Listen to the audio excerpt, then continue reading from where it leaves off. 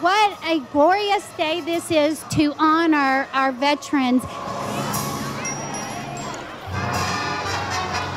This is a great day for America. This is a great day for our veterans. And it's a great day for McClure Elementary because you guys are setting the stage and you're setting the example for all of McKinney by having this event. There are two things, rather two people, groups of people that taught me how to honor veterans.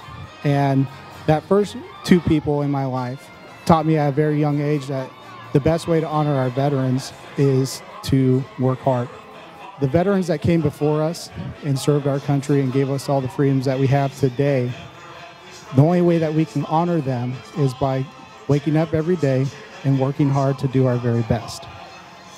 And by doing our very best and working together and making each other better is in turn going to make our country better. Those two, two people were my mother and father. And sometimes the way that they told me to work my best was telling me to do my homework.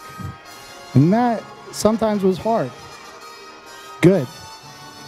I want your homework to be hard. I want you to make yourself better every single day.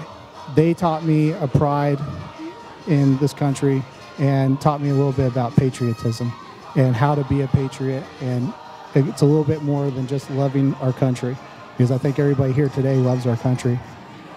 But it goes back to working hard in everything that you do and striving to make connections and learn more about the people around you and the differences that we have so that we can grow together as a, as a nation and more so as a community here at McClure Elementary.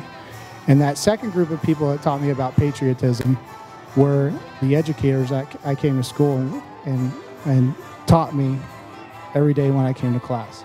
Those educators taught me about the flag, the 13 stripes on that flag and what those represented, the 50 stars and what they represent, how to honor the flag, what it meant when we said the Pledge of Allegiance, and also what it means when we say our national anthem. And every day when I came to school and said the Pledge of Allegiance and we sang the national anthem, it reminded me a little bit more about the sacrifices that were made to make this country great.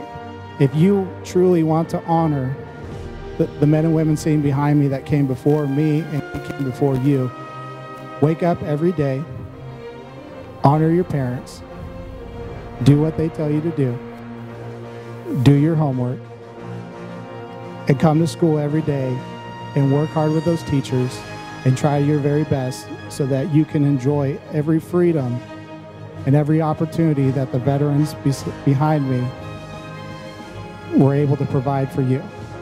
There are not enough words to express my gratitude and the nation's gratitude for what you have done for this country, nor will there ever be. So I'm going to just leave at this and say thank you. Happy Veterans Day.